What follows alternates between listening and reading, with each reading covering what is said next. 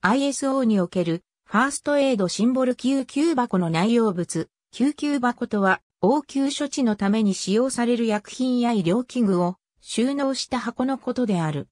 中国の唐の時代には薬老と呼ばれ、室町時代に携帯できる印籠などと共に輸入された。これに類する箱は詳しくは口述するが、その置かれている場所、使う人によってその内容物、適用される外傷や疾患の種類や程度に差があるが、いずれにせよ急を要する外傷や疾患への初期対処を目的としたものである。持ち運びの便が良く、また内容物を保管し、目的別に取り出しやすいよう、内部は仕切りなどによって小分けされている。外箱の材質は木製、金属製、または合成樹脂製で、多くは取っ手のついた持ち運びやすい形状が取られている。また多くの救急箱の外装には、緑十字ないし赤十字のマークが描かれていて、誰の目にもすぐに救急箱とわかるようになっていることが多い。なお、こういった内容物を袋など別の容器に収めることもしばしば行われ、そのようなものはファーストエイドキットなどと呼ばれる。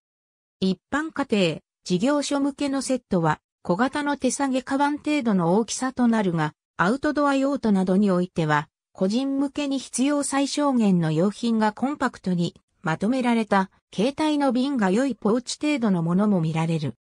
家庭や一般の事業所などで見られるものの多くは、常備薬のほか、軽微な外傷への対応及び止血など簡易な外科処置に必要となる内容を詰め合わせた救急箱セットをそのまま買ってきたもので、これら一般販売されているものには、大体以下の項で記載されているような商品が詰め込まれている。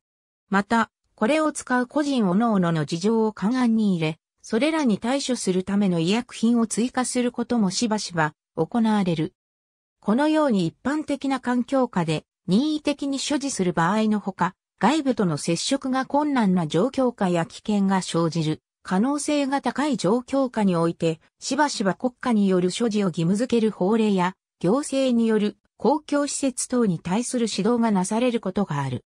日本の場合、航空機という閉鎖的環境下では、医療品意識が入っている救急箱の所持が法令により義務付けられており、事件、事故によって負傷者が出た時に、早急な処置を行えるように、パトカーのトランクや白バイには救急箱が用意されている。ドイツ、オーストリアでは国内にある車すべてに対し救急箱の所持を義務付けている。また、インドの法令では請負い労働を行う際に請負い人は救急箱を利用できる状態で所持しなければならないと規定している。以下は救急箱に収められている主な物品について記載する。ただし、メーカーや用途、サイズ、価格などによって内容は異なり必ずしもリストの通りではない。ありがとうございます。